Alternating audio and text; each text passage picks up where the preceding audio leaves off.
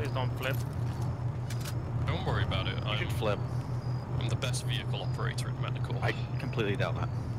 Alright, seems like we're out Alright, suicide with the mess, mass cars. We got red over here.